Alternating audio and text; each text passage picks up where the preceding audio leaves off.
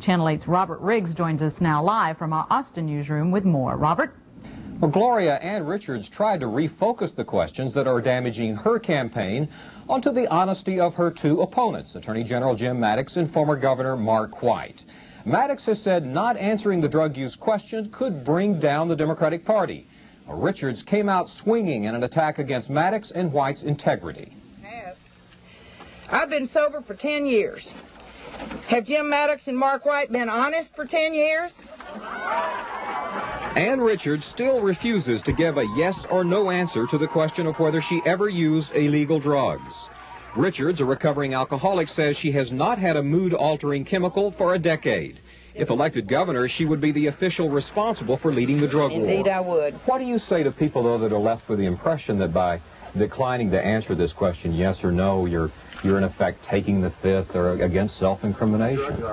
I have uh, seen any number of young people in programs in which I participate. I think that my experience in my hospitalization gives me far greater insight than any person would have in the problems that people face in their own families with alcoholism and drug addiction, and I think it prepares me very well. Uh, I feel really fortunate, truthfully, uh, that there was a treatment program for my disease. I wish there were a treatment program for meanness, and then maybe Mattox could get well. Richard says the drug question was never raised until she got in the way of, quote, these boys who wanted to be governor. She counterattacked the ethics of her opponent, Attorney General Jim Mattox. I think that it is time that we have an explanation from Jim Mattox about why he will not release his income tax.